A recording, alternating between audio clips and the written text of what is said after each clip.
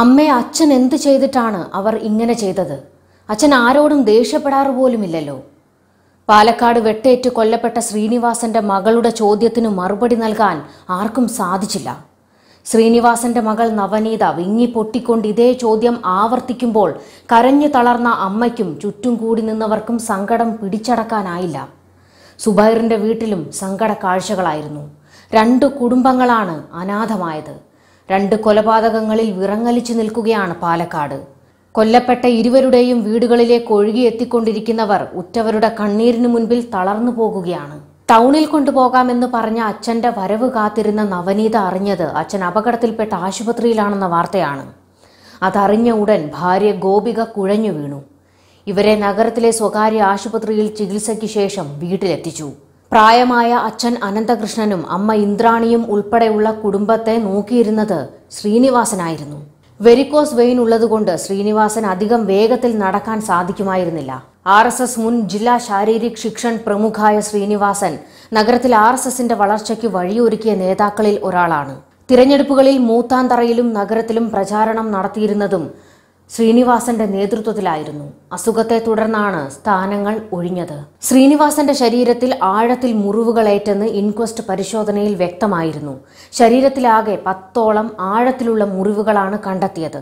തലയിൽ മാത്രം മൂന്ന് വെട്ടുകളേറ്റിരുന്നു. കാലിലും കയ്യിലും ആഴത്തിലുള്ള മുറിവുകളുണ്ട്. ശ്രീനിവാസനെ കൊലപ്പെടുത്താൻ എത്തിയത് ആറംഗ സംഘമാണ്. ഒരു സ്കൂട്ടറിലും രണ്ട് ബൈക്കുകളിലുമാണ് സംഘം എത്തിയത്. ഈ വാഹനങ്ങൾ തിരിച്ചറിഞ്ഞിട്ടുണ്ട്. സി സി ടി വി പരിശോധിച്ചതിൽ നിന്നാണ് ഇക്കാര്യം വ്യക്തമായത്. മൂന്നു പേരാണ് മാരകായുധങ്ങളുമായി ശ്രീനിവാസനെ ആക്രമിച്ചത്. മൂന്നു പേർ വാഹനങ്ങളിൽ തന്നെയിരുന്നു ശ്രീനിവാസനെ വെട്ടി പരിക്കേൽപ്പിച്ച ശേഷം മൂന്ന് അക്രമികളും തിരികെ വാഹനങ്ങളിൽ കയറിയതോടെ സംഘം മടങ്ങി. ജനം ആക്രമണത്തിന്റെ ഞെട്ടലിൽ പരിഭ്രാന്തിയോടെ നിൽക്കുന്നതും ദൃശ്യങ്ങളിൽ കാണാം. ശ്രീനിവാസന്റെ കൊലപാതകവുമായി ബന്ധപ്പെട്ട് അക്രമി സംഘം ഉപയോഗിച്ച ഒരു വാഹനത്തിന്റെ ഉടമയെ കണ്ടെത്തി. ഒരു സ്ത്രീയുടെ പേരിലുള്ളതാണ് ബൈക്ക്. ഇവർ വായ്പ ആവശ്യത്തിനായി ബൈക്ക് മറ്റൊരാൾക്ക് കൈമാറിയിരുന്നു. ഇയാളെ കേന്ദ്രീകരിച്ചാണ് അന്വേഷണം നടക്കുന്നത്. ശ്രീനിവാസന്റെ പോസ്റ്റ്മോർട്ടം നടപടികൾ ജില്ലാ ആശുപത്രിയിൽ രാവിലെ എട്ട് മണിയോടെ ആരംഭിച്ചിരുന്നു. പതിനൊന്ന് മണിയോടെ വിലാപയാത്രയായി കണ്ണകി നഗർ സ്കൂളിലെത്തിക്കും. പൊതുദർശനത്തിന് ശേഷം മൃതദേഹം രണ്ട് മണിക്ക് കറുകോടി ശ്മശാനത്തിൽ സംസ്കരിക്കും. ശ്രീനിവാസന്റെ കൊലയാളി സംഘത്തെക്കുറിച്ചുള്ള വ്യക്തമായ സൂചനകൾ പോലീസിന് ലഭിച്ചിട്ടുണ്ട്. കൊലയാളികൾ സഞ്ചരിച്ച മൂന്ന് ബൈക്കുകളും തിരിച്ചറിയുകയും ചെയ്തിരുന്നു.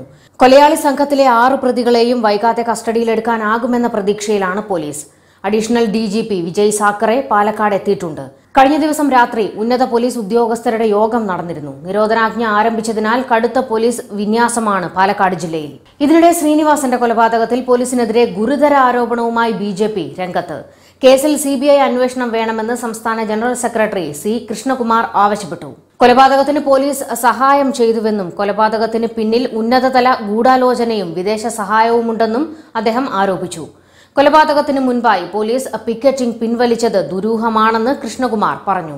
സമൂഹ മാധ്യമങ്ങളിലൂടെ എസ് ഡി പി ഐ പ്രവർത്തകർ കൊലവിളി നടത്തി. ഇത് പോലീസ് അവഗണിച്ചു. കൊലപാതകത്തിന് പോലീസ് സഹായം ചെയ്തു കൊടുത്തുവെന്നും കൃഷ്ണകുമാർ പറഞ്ഞു. News desk Karma news.